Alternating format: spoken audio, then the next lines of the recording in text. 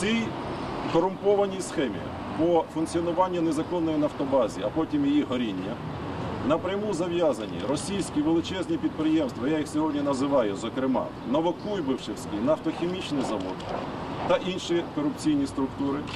Друге, в цій схемі зав'язані офшорні структури, і саме через них з жовтня 2014-го власниками корумпованими цієї нафтобази і тими людьми, які неодноразово зупиняли і намагаються зараз зупинити кримінальне розслідування або кримінальне провадження, є один з фігурантів справи, заступник генерального прокурора України.